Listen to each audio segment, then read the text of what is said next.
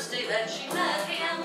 On the second day, she should learn just as well. And on the third, it was so cold as to offer all his gold. Pretty Polly and the pirate hoisted sail. Oh, the pirate loved her more for all his gold.